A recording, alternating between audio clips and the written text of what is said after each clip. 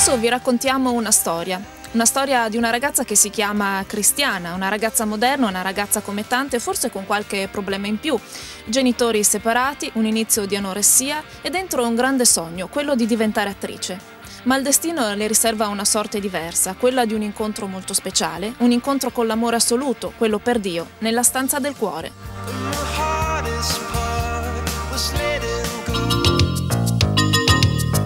C'è un'espressione di Santa Teresa che diceva eh, eh, la nostra persona è come un castello dove ci sono tante stanze, ma c'è una stanza in, in, la più intima, la più, la più, interna, la più nascosta, dove eh, c'è il grande incontro.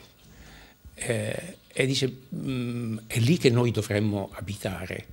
Eh, e però capita spesso che no, mm, siamo o nelle altre stanze o addirittura mm, eh, fuori del castello, nei giardini, nel parco. Ecco. Eh, questa è la stanza del cuore. Nella stanza del cuore, attraverso il suo ultimo libro, centrato per noi Luciano Marigo, raffinato autore vicentino di profonda estrazione cattolica che ci propone in poco più di 200 pagine la rivoluzionaria scoperta di un amore, quello di una giovane donna per Dio. Per ottenere il suo primo ruolo, quello di Suor Crocifissa, una monaca morta in fama di santità, la giovane aspirante attrice, ma tormentata cristiana, si accosta per puro interesse professionale al monastero di Santo Spirito. Qui rimarrà via via stupita e come folgorata dal misterioso mondo della clausura femminile, attraversato da una bellezza e da una delicatezza di vita insolite. Cristiana, la giovane protagonista, esce dalle pagine del libro con particolare realismo.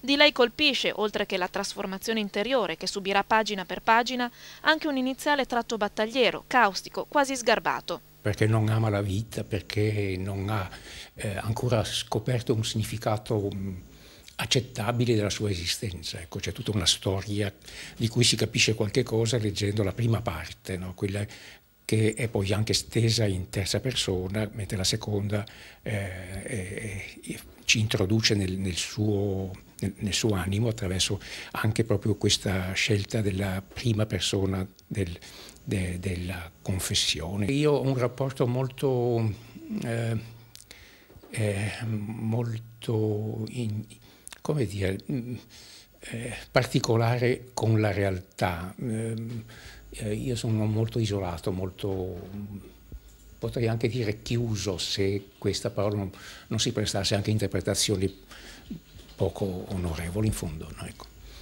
Eh, il libro non, non, non, rappresenta la realtà, non, non racconta le cose eh, nella forma della registrazione del, del, della vita concreta, reale. No? C'è una, una verità di un altro tipo che, che in fondo alla ricerca del, del mio racconto, no? cioè la verità del, delle, della, della, psicologia umana, per esempio, io penso di avere costruito delle persone vive e autentiche e vere, ecco, eh, che non corrispondono tuttavia a un, a un, personaggio che io abbia conosciuto. Ecco, no?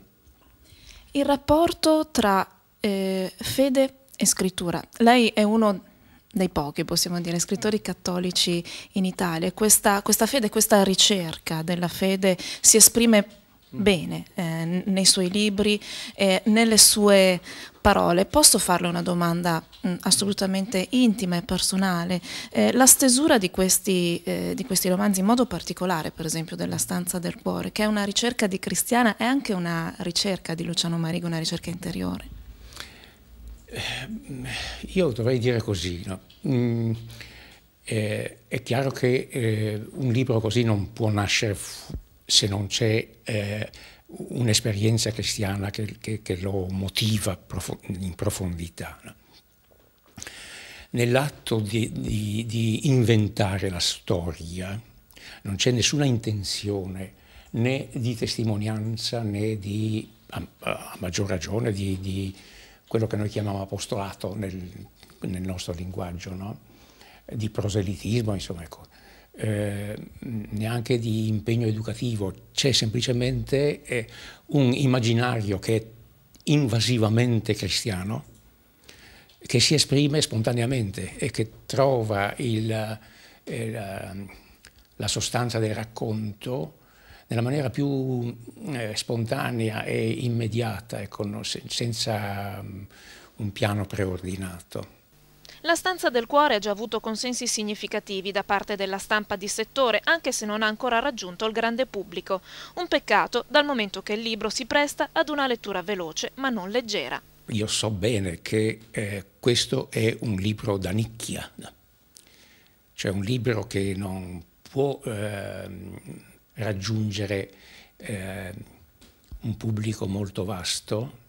Eh, oggi eh, che la secolarizzazione ha, ha, invaso pervasivamente non soltanto la società, il, il mondo, no? ma anche i cristiani. Insomma.